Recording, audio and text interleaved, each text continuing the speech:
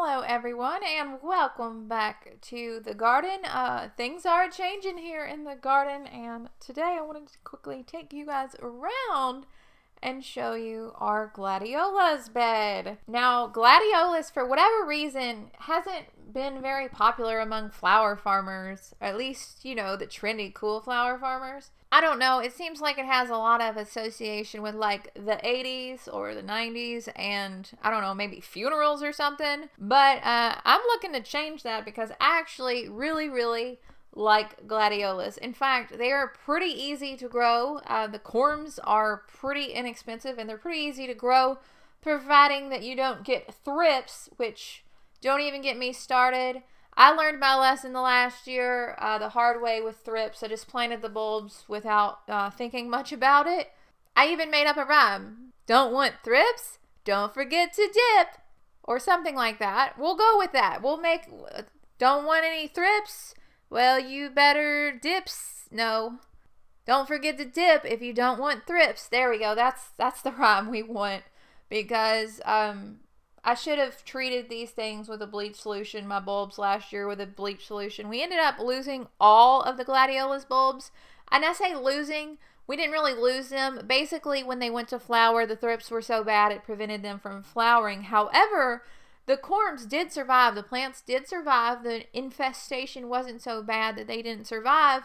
And um, the cold treatment, we let I just left them in the garden. I was so frustrated. I just left them out there in the garden.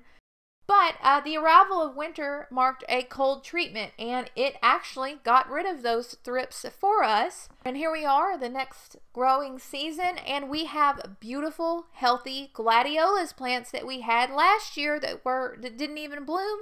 They came back. In most, um, I think most catalogs list gladiolus as hardy to USDA Zone 8.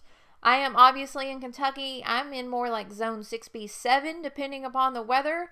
And um, gladiolus seem to reliably come back for me every single year if I leave them in the ground. And even more so if I go to the trouble to mulch them in the fall, which I didn't even do. So, uh, definitely something to consider if you are growing gladiolus for the first time. But let's get on into this tour because this is not how to grow gladiolus. This is a tour about gladiolus. So the first one that I wanted to show you guys is very pretty the hummingbirds have been loving it, and I've been loving it too. I've been picking them for cut flowers. Uh, you can pick gladiolus for cut flowers. That's another positive benefit. They have a great vase life. I don't know why more people do not love gladiolus. It's one that I ordered from Brent and Becky's this year. Uh, it's very pretty and very much on on brand for me with my obsession with peaches and pinks and things. This one is called Vedetta. I guess that's how you say it. Of course, you'll have to forgive me if I'm mispronouncing things in this video. I, let's just face it. If if I were to ask some of you guys, some of y'all would be like, "You mispronounce everything," and that's fine with me. We're all different. We're all different people, and that's great.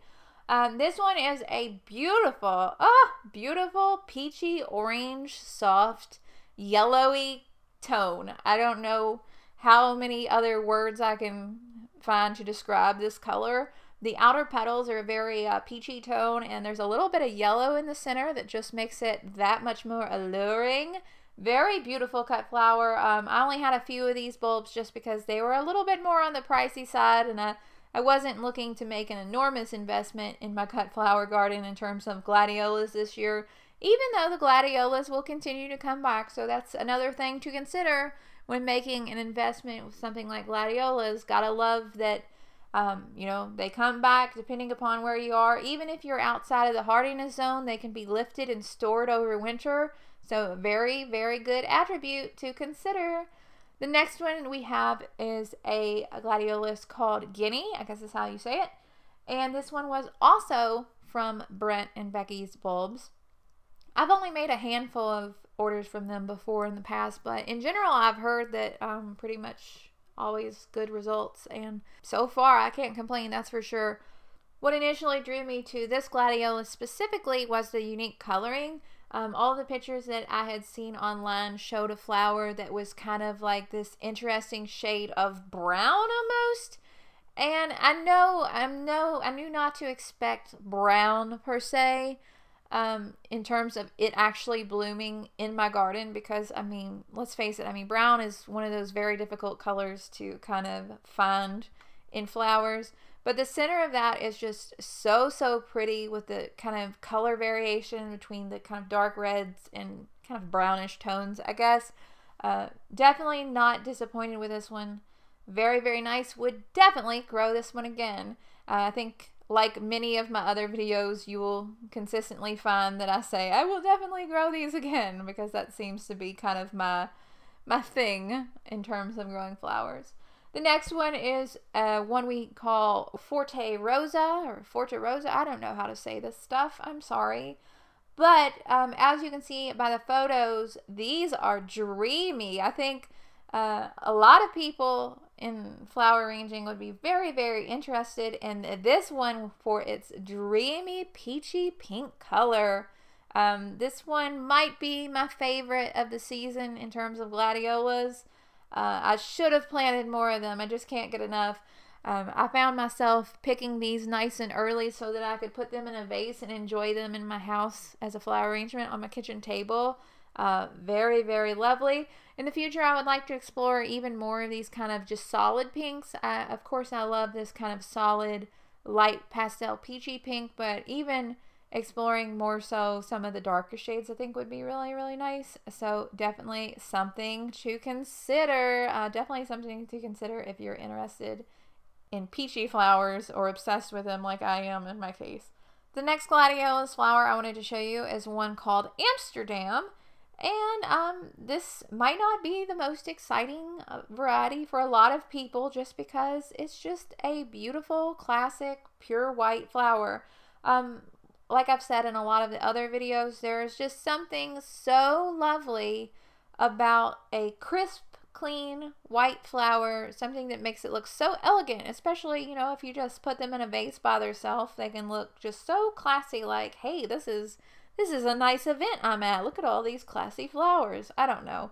Um, by, to, by now, you guys realize I'm just rambling on about flowers. Let's just move on to the next one so I can ramble on about it too so you can see what it looks like. The next one that opened up in my garden, um, they pretty much all opened up about the same time, but the next one is one called Natan. Again, not sure if I'm saying that correctly, but it's just a very pretty kind of dark pinkish red color that I really, really enjoyed not much going on in terms of like patterns and veining and everything. There is a bit of white on each of the petals, uh, but a very lovely cut flower. And again, I wish I had the dahlias growing right now because I can think of at least five or six different dahlia flowers that would look so beautiful with this one. Um, I just, I have to get better at planting, I guess. Are you guys still watching this? Are you still sticking around? Um, I'm so glad and thankful that you are. I really do appreciate it. Has your opinion about gladiolas changed yet? Are you starting to like them? Um, let me know down in the comments. I want to know. Uh, we're almost finished. We have just a few more um, gladiolas that we had here in the garden. We have purple flora. This is a beautiful, beautiful, richly saturated purple gladiolus. Um, and depending upon the lighting, it can kind of be purple blue uh, doing my best to show you exactly what it looks like here in both sunlight and in the shade, depending upon where you want to plant it, of course.